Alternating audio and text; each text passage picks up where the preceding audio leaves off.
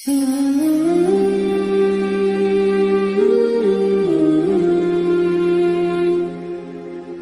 মাঠে ইমাম সাহেবের ঈদের জামাত আদায় করার পর ঈদগাহ মাঠের জন্য টাকা উত্তোলন করা হয়। পরবর্তীতে মাঠের উত্তোলনকৃত টাকা থেকে ইমামকে পাঁচশো বা দুই হাজার টাকা দেওয়া হয়। এটা কতটুকু শরীয়ত সম্মত হবে?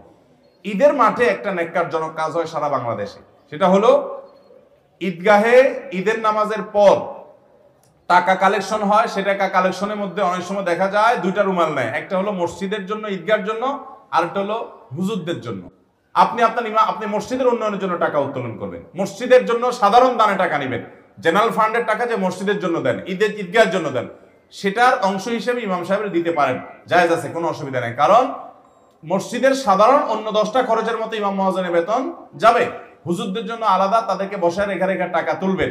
এটা অপমানকর হুজুরদেরও প্রতিবাদ করা উচিত। এই সমস্ত বিষয়ে তারা যেন যথেষ্ট পরিমাণে আত্মসম্মান বোধ সম্পন্ন হন।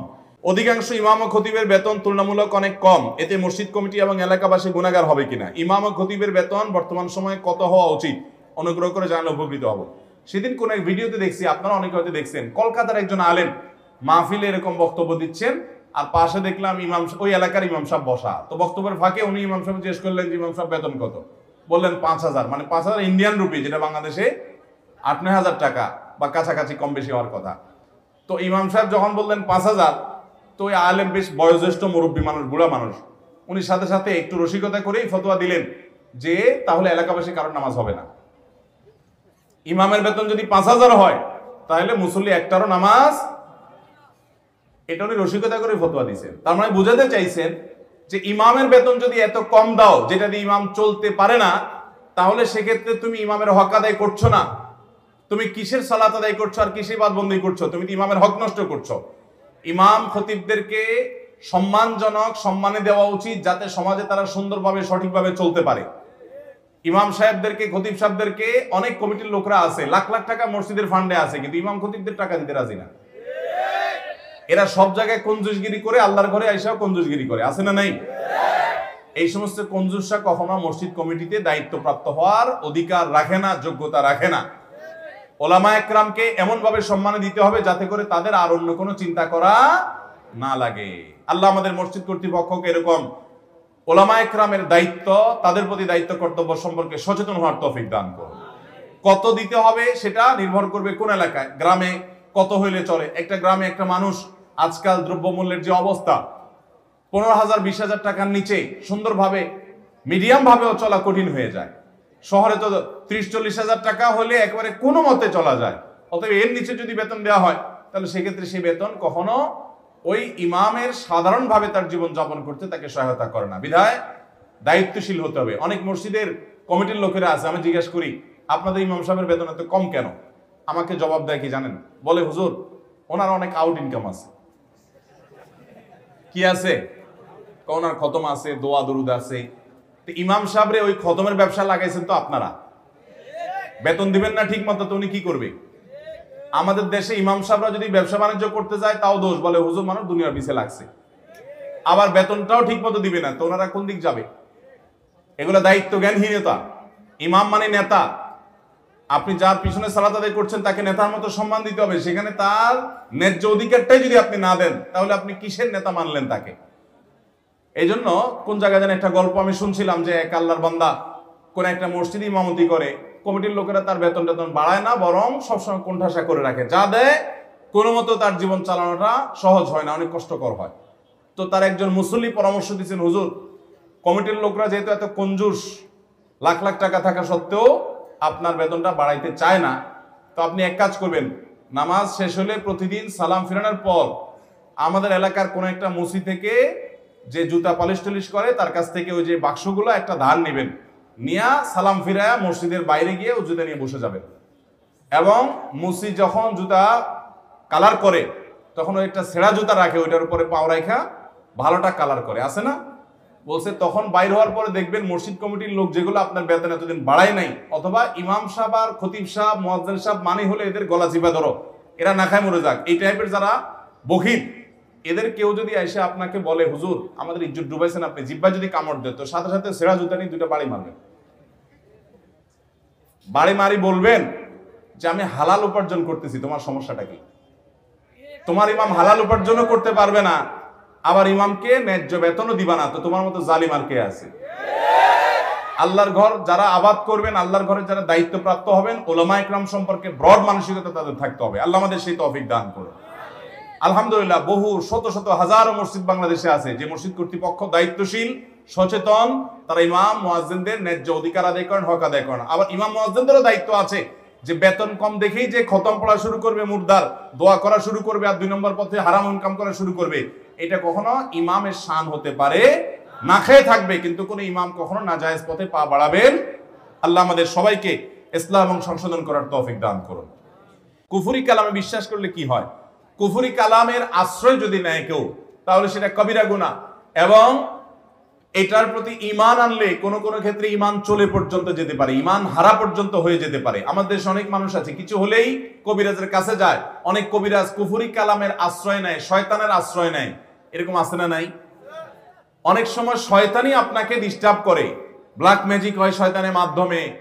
আপনার শয়তান আক্রমণ করে, জিনগ্রস্ত করে কোনো মানুষকে। এরপরে শয়তান চায় যে আক্রমণ করলাম যাতে আমার দলে চলে আসে। এটা অনেক সন্ত্রাসীদের কায়দা। যে সন্ত্রাসী অনেক সময় সন্ত্রাস করে অনেক মানুষকে নিজের বসে আনে। যে আমার দলে আসে, নাহলে তোমাকে শেষ করব। ঠিক একইভাবে ব্ল্যাক ম্যাজিক কালো জাদু এবং দুষ্টজিনের উপদ্রব দিয়ে শয়তান নানা মানুষকে তার দলে বেড়ায়। খবরদার আমাদের যদি কোনো অসুবিধা হয়, আমরা কোরআন থেকে শেফা গ্রহণ করব। কোত্থেকে শেফা নেব ইনশাআল্লাহ?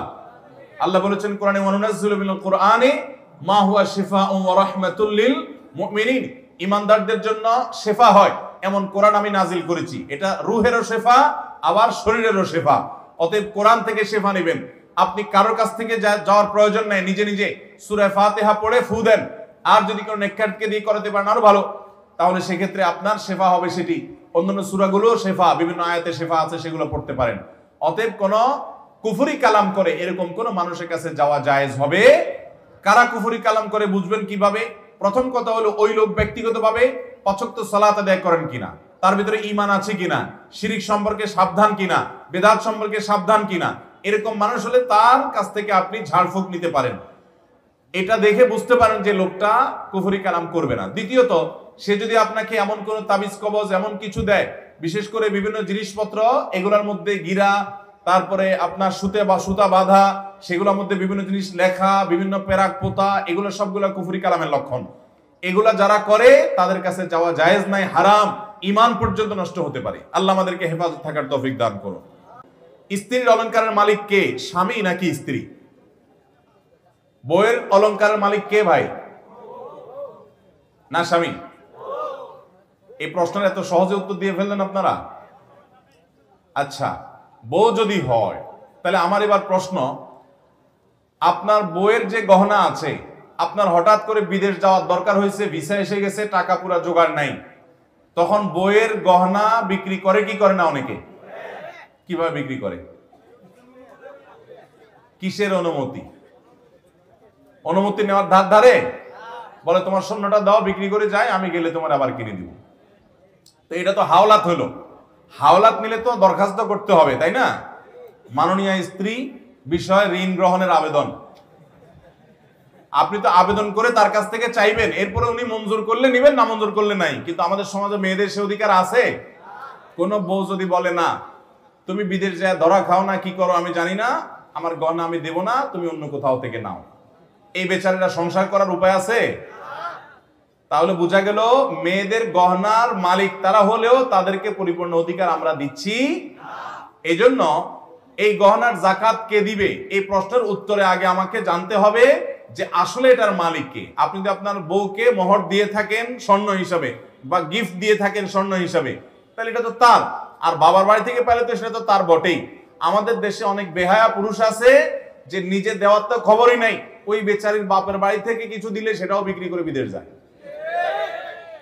হ্যাঁ যদি ওই যে বললাম উইলিংলি যদি তার কাছ থেকে নিতে পারেন, তাকে ফুসলায়া ফাসলায়া, তার খেদমত করে, থালা বাসন ধুয়ে, তাকে সন্তুষ্ট করে যদি বলেন যে ঠিক আছে, তুমি কিনে এটা বিক্রি করে দাও, আমি কিনে দিব, সত্যি সত্যি আবার ওয়াদাও ঠিক রাখেন, তাহলে সেটা জায়েজ আছে। কিন্তু ফুসলায়া ফাসলায়া নিয়ে আপনি বিক্রি করে ফেললেন, তাহলে সে মালিক হলো কীভাবে? যেই গহনা স্ত্রীকে আপনি দিয়ে দিবেন মহর স্বরূপ সেটার মালিক উনি, ওইটা জাকাত উনি দিবেন, ওইটা আপনি তার কাছ থেকে তার অনুমতি ছাড়া বিক্রি করতে পারবেন। আচ্ছা কোনো মহিলাকে আপনি যে গহনা দিছেন স্বামী হিসাবে, ওই গহনা যদি উনি বিক্রি করে ওনার বাপের ভাই লোকদেরকে হাদিয়া তোফা দিয়ে দেয় বা ওই গহনাটা তার ভাই বোনকে দিয়ে দেয়, কোন স্বামী সেটা মানবে? শ্বশুর বাড়িতে ওই মহিলার ভাত থাকবে আর? কেমনে থাকে না তাহলে? মালিক তো ভদ্র মহিলা, তার জিনিস সে কি করবে না করবে এটা তো তার ব্যাপার। আপনার তো সেখানে নাক গলানোর সুযোগ নাই, কিন্তু আমরা নাক গলাই কি গলাই না? এই গলানোগুলো অনুচিত, তবে হ্যাঁ তার জন্য ক্ষতিকর কিছু, ভুল কিছু হলে তাকে আপনি পরামর্শ দিতে পারেন, কিন্তু বাধ্য করার এখতিয়ার নাই, কারণ মালিক কে? উনি নিজে। অতএব স্ত্রীদের সম্পদের মালিকানার ক্ষেত্রে হস্তক্ষেপ আমরা করব না ইনশা আল্লাহ এবং তার জাকাতও তাদেরকে দিতে হবে।